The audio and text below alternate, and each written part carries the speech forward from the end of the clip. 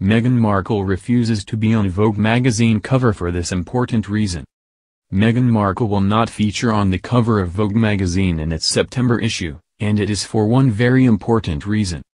The Duchess of Sussex will be doing an exclusive interview with the British edition of Vogue magazine and also write about pieces close to her heart, but she has refused to be photographed for the magazine's cover.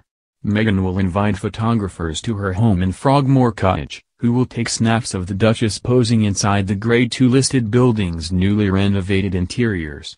The Duchess has reportedly chosen to opt out of a cover page spread as she wants to focus purely on women's empowerment.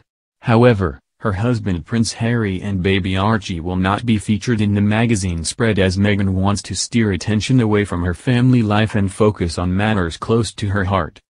Meghan has been in touch with British Vogue editor Edward Enninful, who will be in charge of the photoshoot and spread rather than the magazine's US editor Anna Wintour. A source told The Sun, Meghan is going to write a piece on causes such as female empowerment and women's education. Edward has been courting her since day one. Anna is massively miffed that she's missed out. This has nothing to do with Archie, or family, or home life.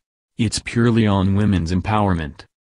Meghan is no stranger to magazine photo shoots. She featured on the cover of Vanity Fair not long after her relationship with Prince Harry became public in 2017.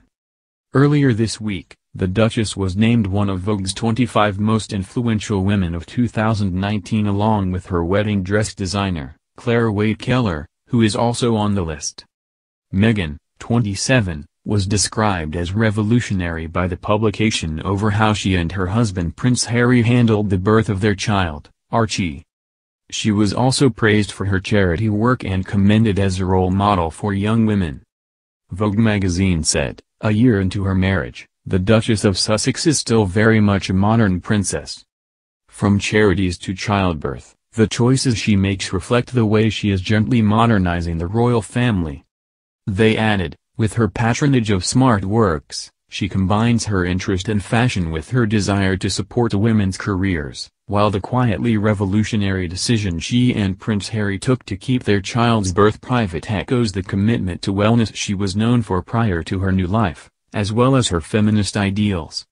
Meghan may end up taking some tips from her sister-in-law Kate, the Duchess of Cambridge, who was once a Vogue cover girl. In 2016, she appeared on Vogue's 100th edition in a collaboration with the National Portrait Gallery, and posed for a series of heartwarming photos in the Norfolk countryside.